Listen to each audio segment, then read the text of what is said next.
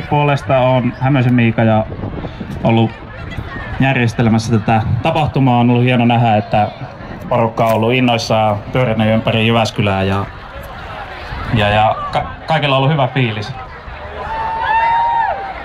Vai onko?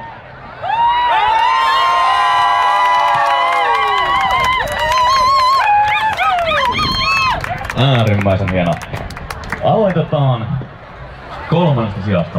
Joukkueita oli mukana mielettömän monta, joten nyt vain siis parhaimmat ovat tässä jäljellä. Kolmannen sijan saavuttanut joukkue saa palkinnoksi kukin joukkueen jäsen 50 euron lahjakortin S-ryhmän liikkeisiin. Ja